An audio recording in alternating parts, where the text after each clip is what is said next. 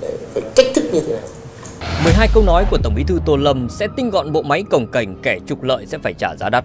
Theo Tổng Bí thư, phải xác định rõ trách nhiệm xử lý các tổ chức cá nhân có liên quan, dứt khoát phải có địa chỉ chịu trách nhiệm, vì đây là tài sản của nhà nước, là tiền của nhân dân. Những vụ án khủng như tập đoàn Phúc Sơn, tập đoàn Thuận An, công ty AIC, dự án Sài Gòn Đại Ninh Lâm Đồng cũng được Tổng Bí thư Tô Lâm nhắc đến với lời khen dành cho sự phối hợp đồng bộ, chặt chẽ, nhịp nhàng, bài bản của các cơ quan trong các khâu kiểm tra, thanh tra, kiểm toán, điều tra, truy tố, xét xử, xử lý các vụ án, vụ việc tham nhũng tiêu cực.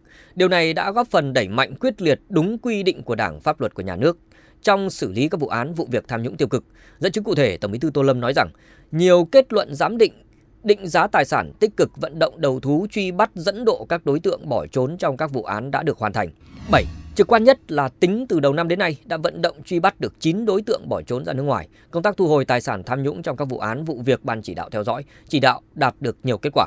Niềm tin và sự đồng lòng của cán bộ, đảng viên và nhân dân đối với công tác phòng chống tham nhũng tiêu cực tiếp tục được củng cố. Trong thời gian tới, Tổng Bí thư Tô Lâm yêu cầu công tác phòng chống tham nhũng lãng phí tiêu cực phải bám sát và phục vụ hai nhiệm vụ chính trị quan trọng mà Hội nghị Trung ương 10 đã xác định, đó là tăng tốc bứt phá để hoàn thành các mục tiêu nghị quyết Đại hội 13 đã đề ra và chuẩn bị thật tốt để tổ chức thành công Đại hội 14 của Đảng. Vừa phải chỉ đạo tiếp tục đẩy mạnh phòng chống tham nhũng tiêu cực, vừa phải quan tâm chỉ đạo đẩy mạnh phòng chống lãng phí, phải gắn phòng chống tham nhũng tiêu cực với phòng chống lãng phí, xác định phòng chống lãng phí có vị trí tương đương với phòng chống tham nhũng tiêu cực. Đúng là người kế nhiệm xuất sắc của cố Tổng Bí thư Nguyễn Phú Trọng. Khi ở đầu nhiệm kỳ của mình, Tổng Bí thư Tô Lâm đã cho thấy sức mạnh của người đứng đầu, thông tuệ như thế nào. Tổng Bí thư cho rằng đây là vấn đề rất lớn, phạm vi rất rộng, thiệt hại còn lớn hơn rất nhiều lần so với tham nhũng tiêu cực. Về tổng thể thì phải kiên trì thực hiện đồng bộ các giải pháp từ thấp đến cao để thực hành tiết kiệm phòng chống lãng phí như xây dựng văn hóa chống lãng phí trong toàn xã hội, đưa chống lãng phí trở thành các chuẩn mực đạo đức, chuẩn mực xã hội. 8. Theo chỉ đạo của Tổng Bí thư, trước mắt phải lựa chọn những nội dung trọng tâm giải pháp đột phá để tập trung chỉ đạo, tạo dấu ấn lan tỏa trong toàn xã hội. Trong đó phải khẩn trương ban hành hướng dẫn của ban chỉ đạo về những nội dung cần tập trung lãnh đạo chỉ đạo công tác phòng chống lãng phí, cần phải nhận diện chỉ rõ các hành vi biểu hiện lãng phí trách nhiệm của các cấp ủy, tổ chức đảng, cơ quan, tổ chức cán bộ, đảng viên, nhất là những người đứng đầu trong công tác phòng chống lãng phí. Cùng với đó phải ra soát sửa đổi bổ sung các quy định của Đảng, pháp luật của nhà nước về phòng chống lãng phí, đảm bảo đồng bộ, thống nhất, sửa đổi bổ sung ngay các quy định về tiêu chuẩn định mức kinh tế, kỹ thuật không còn phù hợp với thực tiễn phát triển của đất nước. 9 Tổng Bí thư yêu cầu chỉ đạo giả soát xử lý nghiêm các vụ việc lãng phí lớn, dư luận xã hội quan tâm theo đúng tinh thần xử lý một vụ cảnh tỉnh cả vùng cả lĩnh vực, xác định rõ trách nhiệm xử lý các tổ chức cá nhân có liên quan, dứt khoát phải có địa chỉ chịu trách nhiệm vì đây là tài sản của nhà nước, là tiền của nhân dân. Theo chỉ đạo, trước mắt sẽ ra soát xử lý dứt điểm tồn tại kéo dài đối với các dự án quan trọng quốc gia, dự án trọng điểm, dự án hiệu quả thấp, gây thất thoát lãng phí lớn. Trước hết là các dự án đầu tư xây dựng cơ sở 2 bệnh viện Bạch Mai và cơ sở 2 bệnh viện Việt Đức, dự án giải quyết ngập do chiều khu vực thành phố Hồ Chí Minh, các dự án năng lượng tái tạo đã xây dựng nhưng chưa được kết nối vận hành. Không lợi dụng phòng chống tham nhũng để trục lợi. Đó là tiếp tục chỉ đạo đáng lưu tâm của Tổng Bí thư Tô Lâm. Khi có những kẻ lợi dụng việc này Tuy nhiên những ai đục nước béo cỏ sẽ phải trả giá đắt. 10. Tổng Bí thư yêu cầu tiếp tục tạo chuyển biến mạnh mẽ trong công tác phòng chống tham nhũng lãng phí tiêu cực ở địa phương, cơ sở theo phương châm phòng chống tham nhũng lãng phí tiêu cực phải từ cơ sở từ chi bộ, cần khẩn trương sửa đổi bổ sung chức năng của ban chỉ đạo phòng chống tham nhũng tiêu cực cấp tỉnh để chỉ đạo cả công tác phòng chống lãng phí, tạo sự đồng bộ thống nhất từ trung ương đến địa phương.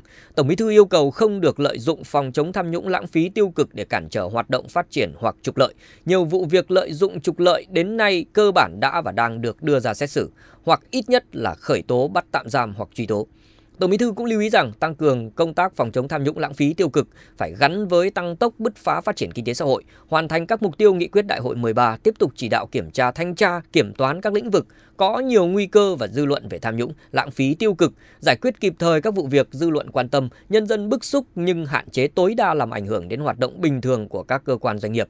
Theo Tổng Bí thư, cần thực hiện có hiệu quả công tác phòng chống tham nhũng lãng phí tiêu cực phục vụ thực hiện chỉ thị 35 của Bộ Chính trị về tổ chức Đại hội Đảng các cấp tiến tới Đại hội Đảng toàn quốc lần thứ 14. Trước hết, cần tập trung chỉ đạo đẩy nhanh tiến độ điều tra xử lý dứt điểm các vụ án, vụ việc tham nhũng lãng phí tiêu cực nghiêm trọng, phức tạp dư luận xã hội quan tâm.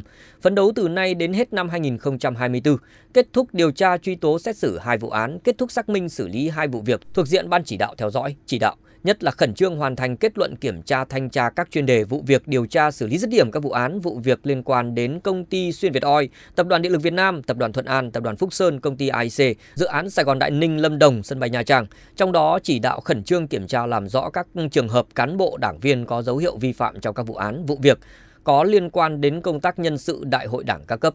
Chúng ta không thể phủ nhận rằng tham nhũng và tiêu cực đã và đang là vấn đề nhức nhối. Nhiều vụ việc lợi dụng để trục lợi đã bị đưa ra xét xử, cho thấy quyết tâm của chính quyền trong việc xử lý nghiêm khắc các hành vi vi phạm. Tuy nhiên để thực sự tạo ra chuyển biến cần phải có những biện pháp đồng bộ và mạnh mẽ hơn nữa.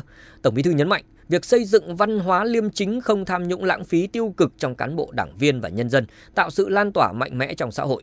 Tổng Bí thư yêu cầu phải làm cho việc thực hành liêm chính không tham nhũng lãng phí tiêu cực trở thành việc tự giác tự nguyện như cơm ăn, nước uống, áo mặc hàng ngày, phải khuyến khích cán bộ đảng viên nhân dân tăng cường thực hành tiết kiệm, tạo thói quen quý trọng thời gian làm việc, tiền bạc, tài sản của nhà nước, công sức của nhân dân. Phải tăng năng suất lao động, Đề cập đến chỉ tiêu khó đạt được trong nhiệm kỳ này là tăng năng suất lao động, Tổng Bí thư Tô Lâm lưu ý kinh tế phát triển nhưng năng suất lao động thực tế đang giảm. Trong khi nếu năng suất lao động giảm thì không thể phát triển kinh tế xã hội được. Từ đó ông cho rằng cần thẳng thắn nhìn nhận năng suất lao động của Việt Nam giảm dần, thấp hơn nhiều nước trong khu vực. Muốn tăng năng suất lao động theo Tổng Bí thư thì phải có lao động tay nghề cao, ít người làm một việc, áp dụng khoa học công nghệ, cách thức quản lý tốt. 11. Tổng Bí thư nói phải khuyến khích thế nào đó để tăng năng suất lao động cao so với các nước xung quanh. 40 năm qua chúng ta phát triển đã có thành tựu vĩ đại nhưng so với mức phát triển của các nước xung quanh chưa đạt. So với Trung Quốc, Nhật Bản, Hàn Quốc, Ấn Độ chúng ta thua rất xa. Tổng Bí thư khẳng định muốn phát triển bền vững phải dựa vào những cái của ta, tự lực, tự chủ, tự cường là chính. Còn đi vay mượn những chỗ khác về không thực chất. Thành ra những cái đó không có con đường nào khác là tăng năng suất lao động huy động mọi người đều tham gia vào sản xuất kinh doanh. Tổng Bí thư cũng nhắc lại kỷ nguyên mới mà ông hay nhắc đến là phải bứt tốc năng lực với mục tiêu đến năm 2045 là nước phát triển thu nhập cao. 12. Tổng Bí thư Tô Lâm nhấn mạnh, kỷ nguyên mới là thế nào? Kỷ nguyên mới phải bứt tốc năng lực với mục tiêu đến năm 2045 là nước phát triển thu nhập cao. Nếu với tốc độ như thế này thì nhiều khả năng không hoàn thành. Còn có 20 năm nữa, quy mô nền kinh tế phải gấp 3 lần bây giờ. Thu nhập bình quân đầu người phải gấp 3 lần mới đạt mục tiêu. Bây giờ cứ như thế này làm sao gấp được 3 lần? Rất khó khăn. Đây là những việc Trung ương phải bàn, phải thấy rõ những khó khăn đã đề ra, vượt lên để phát triển. Điều đó có nghĩa là 20 năm nữa với quy mô nền kinh tế khi đó phải gấp 3 lần bây giờ, thu nhập bình quân đầu người cũng phải gấp 3 lần. Theo Tổng Bí thư, để đạt được các mục tiêu, yêu cầu bắt buộc là phải tăng năng suất lao động, giảm bộ máy biên chế nhà nước, kinh phí Tổng Bí thư Tô Lâm cho biết hiện nặng nề lắm, một việc nhiều người làm, không ai chịu trách nhiệm chính cả. 12 câu nói chỉ đạo của Tổng Bí thư Tô Lâm thật sự rất đáng để cán bộ và nhân dân cùng suy ngẫm. Tổng Bí thư Tô Lâm đã thể hiện sự quyết tâm và tầm nhìn xa trông rộng trong việc tinh gọn bộ máy nhà nước. Đây là một nhiệm vụ không dễ dàng, nhưng nếu thực hiện đồng bộ và hiệu quả, chúng ta có thể hy vọng vào một và một bộ máy chính quyền gọn nhẹ, hoạt động hiệu quả hơn, phục vụ tốt hơn cho người dân.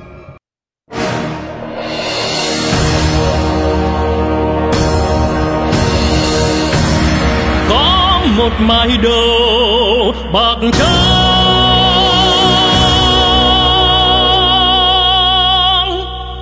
Vinh quang.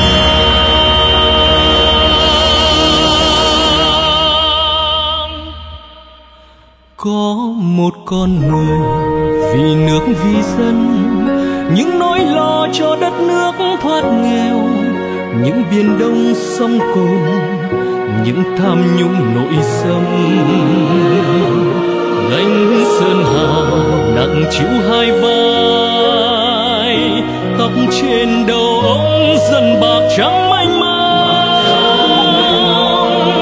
Giết nỗi sắm tay tê tương khúc ruột, vì nhân dân ông trong sáng nêu gương. Cứ điềm tĩnh nhẹ nhàng ông kiên quyết tiến công tóc trên đầu ông bạc trắng.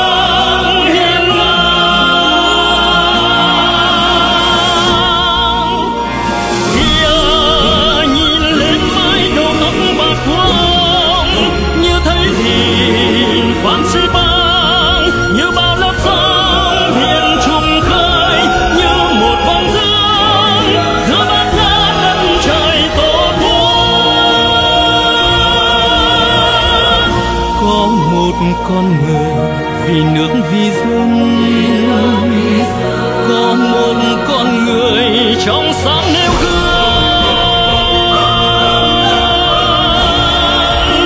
Là ông một đời vì nhân dân là ông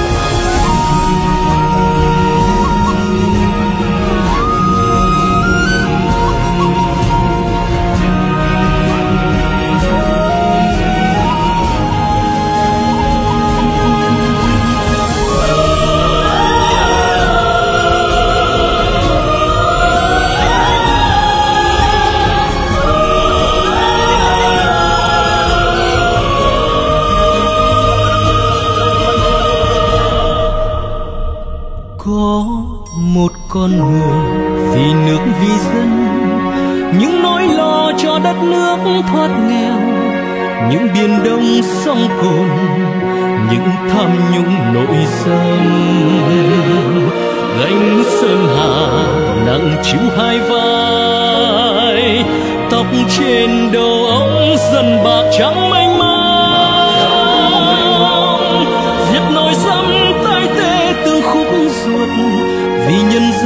trong sáng nêu gương.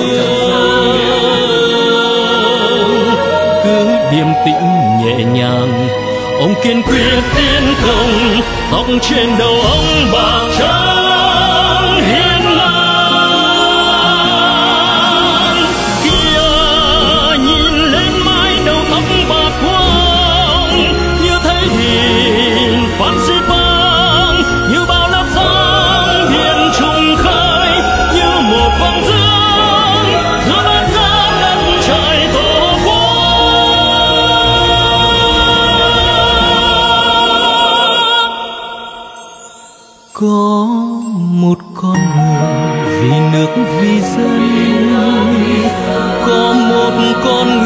Người trong sáng nêu gương